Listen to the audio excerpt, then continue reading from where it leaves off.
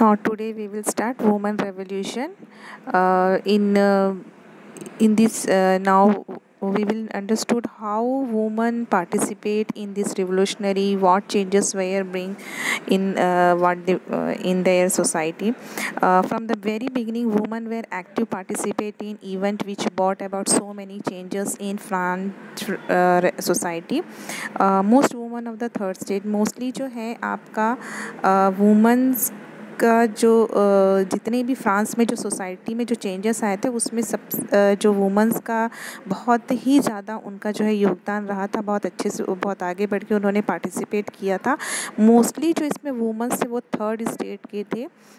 उन्होंने, उनकी जो, उन्होंने अपने लाइफ स्टाइल में जो है चेंजेस लाया था। सबसे पहले तो उन्होंने ये मांग की थी कि उनको जो है मेन की तरह जो है उनको वेजेस मिले वन के बराबर जो है उनको वेजेस मिले, क्योंकि पहले जो वेजेस मिलते थे, एक ही जैसे काम के लिए जो है दोनों को अलग अलग वेजेस मिलते थे, यानी वुमेंस को कम वेजेस मिलते थे और मैन को ज़्यादा मिलते थे।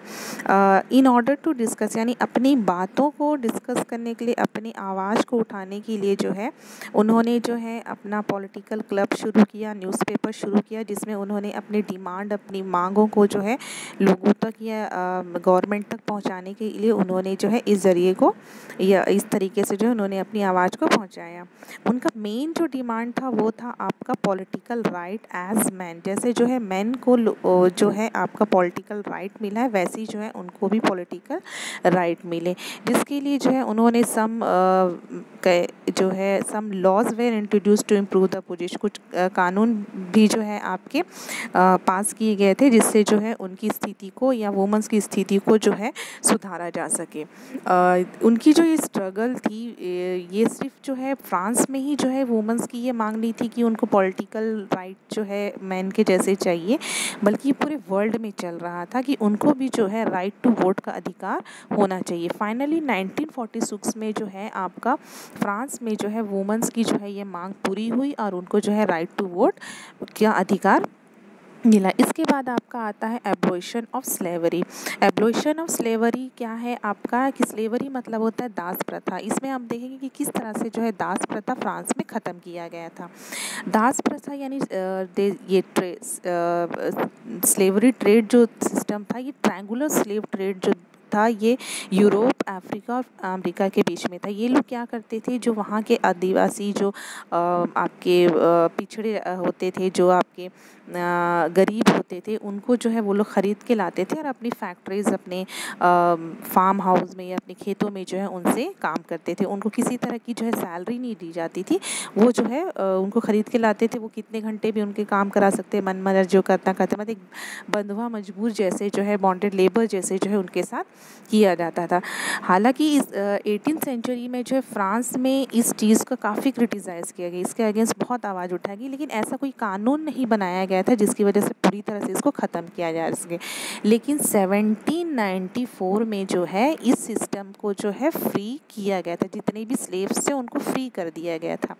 लेकिन इसके 1794 के 10 साल के बाद जो है नेपोलियन जब आया, उसने जो इसको फिर से री किया और इस, लेकिन फिर फोर एटीन फोर्टी एट में जो है इस स्लेवरी सिस्टम जो है टोटली जो है फ्रांस में आपका ख़त्म कर दिया गया था। इसके बाद हम लोग देखेंगे the revolutionary revolution and everyday life. यानी कि ये जो रिवोश, रेवोल्यूशन हुआ था आपका, ये जो क्रांति हुई थी और आम ज़िंदगी में इसका क्या असर पड़ा था? 1789 में फ्रांस में बहुत सारे चेंजेस देखने को मिले। मैन वुमेन चिल्ड्रन सबकी लाइफस्टाइल में जो है काफ़ी ज़्यादा चेंजेस आया था। जो रिवोशनरी गवर्नमेंट थी मतलब जो रिवोल रेवोल्यूशन होने के बाद जो गवर्नमेंट आई थी, उसने ये कानून पास किया था that to translate the ideal of liberty and equality into every practice यानी जो आपकी जो आज़ादी थी, जो एक रूपता था इक्वालिटी थी, ये हम, पूरे डेली जो है, आपकी एवरीडे जो लाइफ थी, उन सब में जो है इसको लागू किया जाता था। एक इंपॉर्टेंट लॉ जो था, वो सबसे ज़्यादा अफेक्ट हुआ था that is abolition of censorship यानी सेंसरशिप को जो है, ख़त्म करना। सेंसरशिप क्या था कि पहले क्या होता था कि जो भी चीज़ जो है मोनार्की सिस्टम में या जो राजवंश में जो वो चाहते थे, जो चीज़ प्रिंट होना था, जो चीज़ लोगों तक होना, जो अपनी बात तो वो न्यूज़पेपर में अगर कुछ खास छपना है तो सिर्फ़ उनकी मर्ज़ी से छपता था। तो ये सारी चीज़ें जो है ख़त्म कर दी गई थी। अब आम जनता भी जो है अपनी बातों को जो है न्यूज़पेपर के ज़रिए या किसी के ज़रिए जो है, खुल के जो है अपनी बातों को कर सकती थी। The ideas of liberty and democratic right were the most important यानी लिबर्टी और डेमोक्रेटिक राइट जो था फ्रांस फ्रेंच रेवोल्यूशन का एक इंपॉर्टेंट आइडियाज़ हो गया था।